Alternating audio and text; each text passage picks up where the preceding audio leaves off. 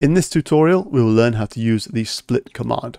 This can be used to either split faces or to split solid bodies within a model. And so as we can see here, I've drawn a basic part. I've drawn in a sketch profile on this plate in here. We will use that as our split line.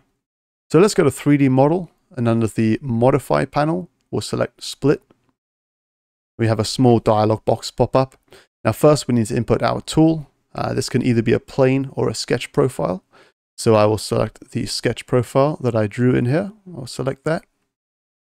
And then for faces, we need to select which faces that we wish to split. And so to start with, I'm just going to select these three faces here and select OK. And as we can see, I've split these faces up. So I've got a total of six faces now uh, as they intersect with our sketch profile. I'm going to delete that and I'm going to reselect our sketch profile, but instead I'm going to select all faces. So every face that's intersected by our sketch profile will be split.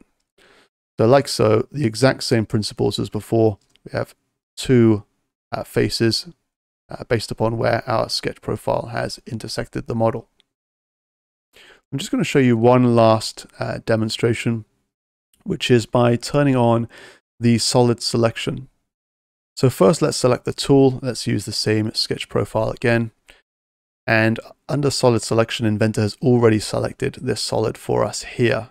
Uh, when we know that because under the solid bodies folder, there is only one solid to choose from. And we have some behavior options here. So if we wish to discard one side or the other, we can do so. But for this demonstration, I will keep both sides and select OK. And now if we look at our solid bodies folder once again, we can see there are now two bodies. We can choose to uh, change their visibility. And we can even apply different properties uh, to each of these solid bodies. So for example, if I select solid body 18 and solid body 19, we can see here that I've applied uh, two different appearances to each of the bodies. So that's a summary of the split command. If you have any questions, please put them in the comments section. But aside from that, I will see you in the next tutorial. Thank you.